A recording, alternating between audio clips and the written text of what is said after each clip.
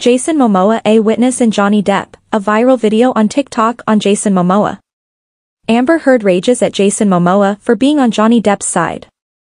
The continuing defamation action involving Pirates of the Caribbean star Johnny Depp and his ex-wife, Hollywood actress Amber Heard, is progressing faster than expected, and it looks like Depp is winning the war, at least in the eyes of the fans.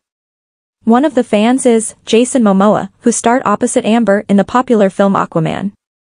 Jason is now campaigning to have his co-star removed from the film's cast, and he is getting a lot of support.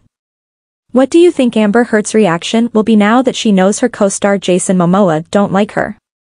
Fans have opinions on Jason Momoa's decision to follow Johnny Depp on Instagram during the trial, against his Aquaman co-star Amber Heard. After Amber accused him of abuse in 2018, the Pirates of the Caribbean actor filed a 50 million defamation suit against her. The televised trial is taking place in Virginia's Fairfax County. According to the news on the internet, the situation appears to be straight out of a Hollywood blockbuster. Fans have been rallying behind Depp, who claimed that Tinseltown had shunned him due to the bogus charges. Now it appears that Amber Heard's co-star Jason Momoa has chosen his side. The netizen guessing that it's a way for him to show his support for the Fantastic Beasts actor by following Depp on Instagram.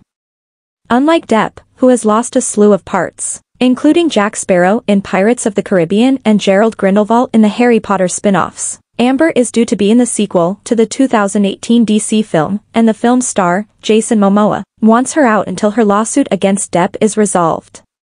Originally rumored that the Aquaman producers did not want Amber back, but they said it was because of the lack of chemistry between her and Jason Momoa. Fans have taken to Twitter to express their gratitude for Momoa's decision to follow Depp on Instagram. The public is pleased with the actor's actions.